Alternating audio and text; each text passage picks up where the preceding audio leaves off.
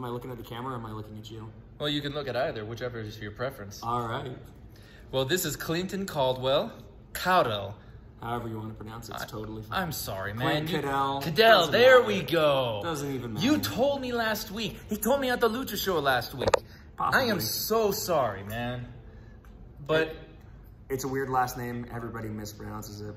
It doesn't that's matter. no excuse. It doesn't matter. It matters to me. That's why I say it to you. Thank you. Anybody else thought I'd just be like, that's how you say it. Yeah, I don't. I don't like that. Names are important. Speaking of which, how'd you come up with the name, your wrestling name, Sterling Silvers?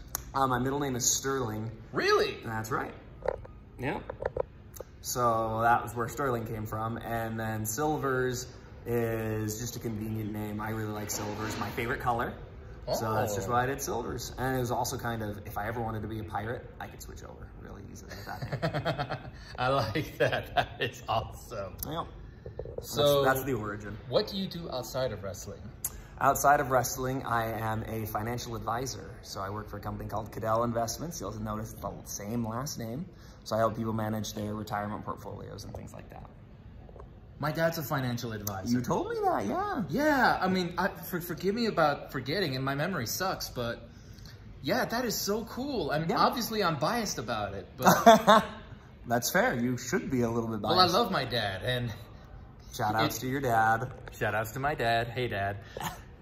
So, before we go, I wanted to ask one last thing from you, and please ex- expound on this.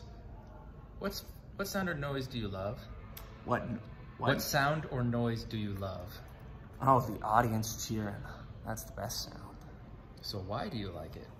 Uh, it just means I'm doing a good job and it means that people are happy. And at the end of the day, that's what I like. I want to make sure everybody has a good time because life should be full of fun and smiles. And that's just what I want to do. Well, you definitely bring a lot of smiles, man. Oh, Thanks, thanks. Sterling. Or thanks, Clint.